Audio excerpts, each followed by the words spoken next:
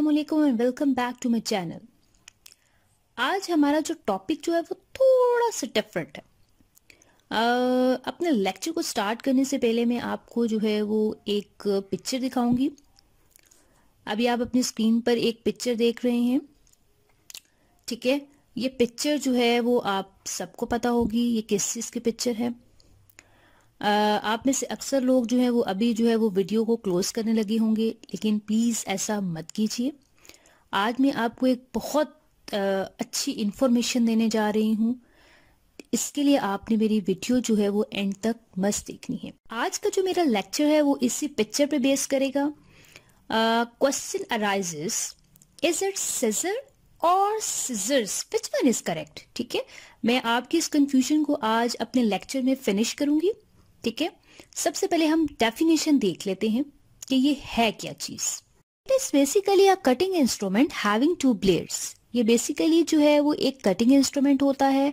आप इसको, की हेल्प से जो है वो कहीं भी, जहाँ भी आप कहीं बैठे हों, आपके लिए ये कैरी करना बहुत ईजी होता है। आप इसकी हेल्प से जो है वो कट कर सकते हैं। हम इसको सिजर्स क्यों कहते हैं? क्योंकि इसके टू ब्लेड्स होते हैं। आप पिक्चर में देख सकते हैं, इसके ब्लेड्स होते हैं, ठीक है? इसके नीचे दो हैंड्स बने हुए हैं। इन हैंड्स इन ब्लेड्स की वजह से हम इसको सिजर्स बोलते हैं, क्योंकि ये एक से ज़्यादा जब कोई चीज़ होती है तो वो प्लूरल की कैटेगरी में आ जाती है। तो ये एक से ज़्यादा है, इसके दो ब्लेड्स दो हैंड्स हैं, ठीक है बेसिकली ठीक है, जिसके वजह से आप इसको कहते हैं scissors not scissor it is basically a noun and is treated as a plural noun ये बेसिकली एक नाउन भी है इसको हम एज अ प्लूरल ट्रीट करते हैं। अगर आप किसी सेंटेंस में वर्ड सिजर्स यूज़ नहीं करना चाहते तो आप पेयर ऑफ़ सिजर्स यूज़ करेंगे अगर आपके पास एक ही सिजर्स है। ठीक है?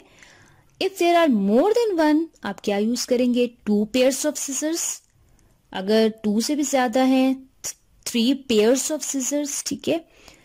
पेयर ऑफ़ सिजर्स वर्ड जो है और सीजर्स बोथ आर करेक्ट आप दोनों में से जो आपका दिल करता है, आप यूज़ कर सकते हैं। ये दोनों ग्रामेटिकली करेक्ट हैं। ठीक है?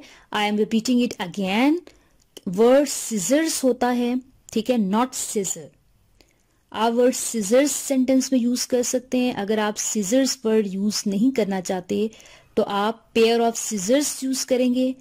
अगर आपके पास एक से ज़्यादा सीजर्स हैं तो आप कहेंगे टू पेयर्स ऑफ़ सीजर्स और थ्री पेयर्स ऑफ़ सीजर्स मैं उम्मीद करती हूँ आपको मेरा ये लेक्चर जो है वो आज का बहुत पसंद आया होगा।